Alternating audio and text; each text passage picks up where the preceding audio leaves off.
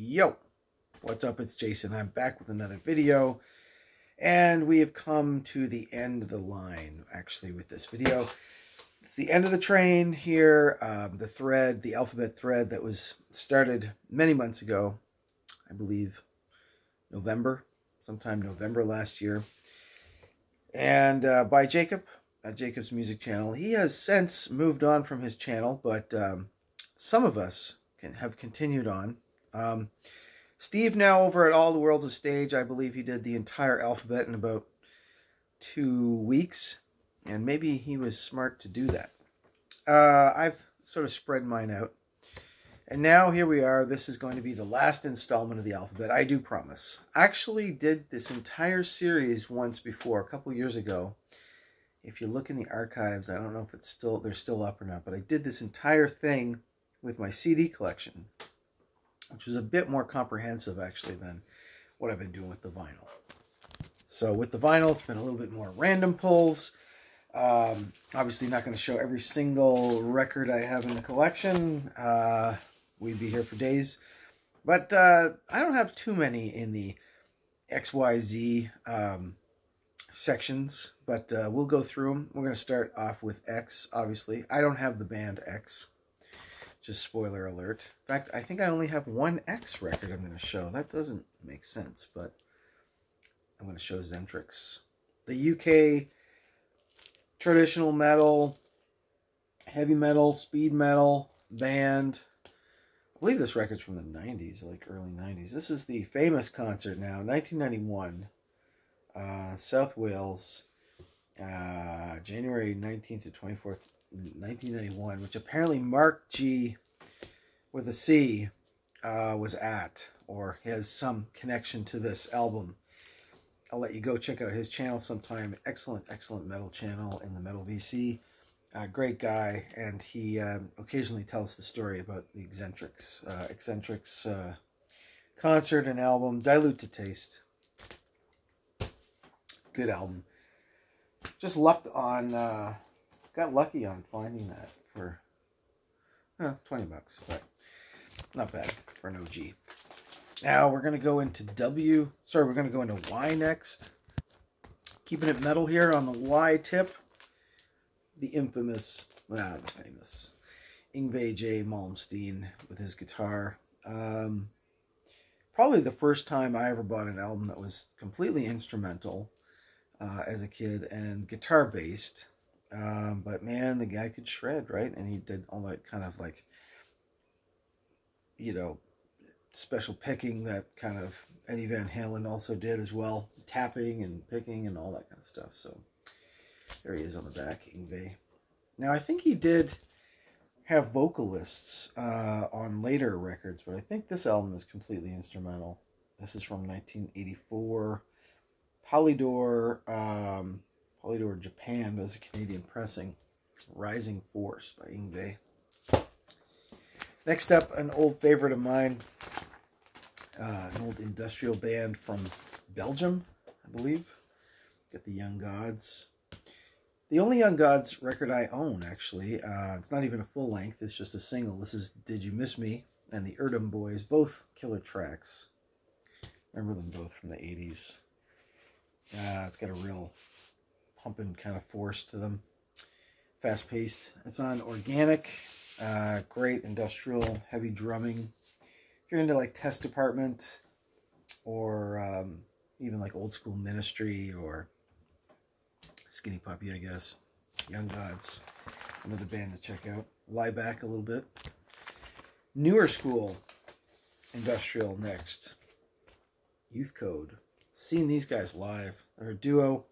Think from LA, and they opened up for Skinny Puppy and Frontline Assembly one year, one tour that I saw in Montreal. Absolutely killer. Jumping around, banging away. This is a remix, a sort of slightly remix album. I believe side A is original tracks, and side B has all the remixes of different tracks, not the same ones, but including a Silent Servant uh, remix, RIP Silent Servant. This came out on Dais, Dais label. Youth Code. Good band. Next up, We've got a little bit of synth pop here. I've got, got a single and the album, actually. Great outfit from the UK. Got Yaz. And uh, this is the single for Don't Go. Huge, huge track. Additional production by Daniel Miller of Mute Records. Um, but I believe, wasn't Yaz um, the guy from uh, Vince Clarke? Yeah, from uh, from Depeche Mode. This is the album. Upstairs at Eric's. Good album. This has Don't Go and also um, Only You Situation is also on this. Huge tracks. Uh, 1982 on mute and uh, Canadian Press on WIA. So Yaz. then we got a little bit of funk. Funk and Soul. Yarborough and Peoples. Yarborough and Peoples reckon. Got it for a whole two bucks. Uh, it's called Be a Winner, and that is really the best track on this one. No, sorry, I lied. The opening track is the best one. Don't Waste Your Time, it's called. Very cool track. Uh, I've heard it sampled in some house songs and then recognized it from the sample when I heard it and picked it up. So Yarborough and Peoples, who I think have did some other stuff writing wise. This is on Total Experience Records. 1980, I'm thinking. This thing. Let's just see here. 1984, actually. There you go. Now I got three left to show, all in the letter Z or Z. Sticking on a funk tip right now, we got Zap, Roger, aka Roger Troutman, Roger Zap Troutman. Great stuff. Um, this has the killer track, More Bounce to the Ounce, on this one as well, which is sampled by EPMD uh, back in the 80s.